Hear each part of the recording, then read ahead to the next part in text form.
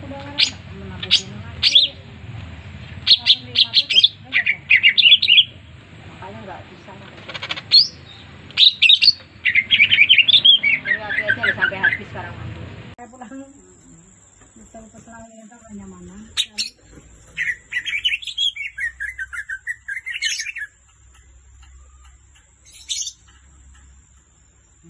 Kan ada ada